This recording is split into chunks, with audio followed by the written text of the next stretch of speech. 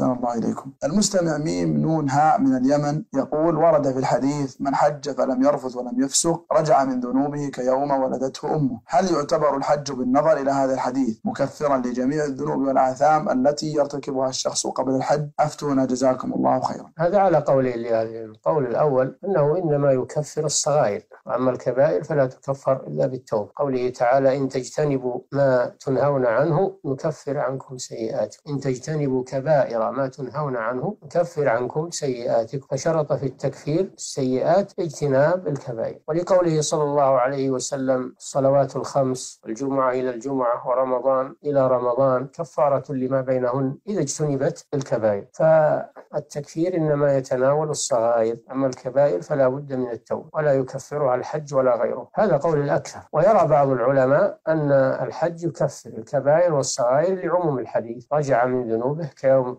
ولدت أو رجع كيوم ولدته أمه. مطلق. هذا مطلق. يتناول الكبائر والصغائر. وفضل الله واسع. لكن على كل حال لا يجوز التساهل في المعاصي والاعتماد على أن الحج يكفرها أو رمضان أو الصلوات الخمس. لا يجوز التمادي في المعاصي والاعتماد على الرجاء فقط. بل يتوب إلى الله عز وجل ويحسن العمل. نعم.